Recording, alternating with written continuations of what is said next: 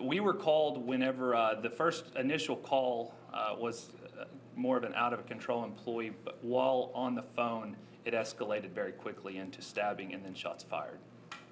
The shots had been fired before officers arrived.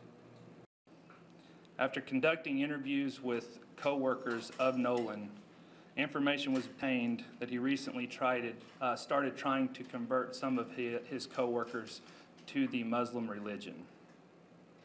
Due to the manner of death and initial statements of coworkers,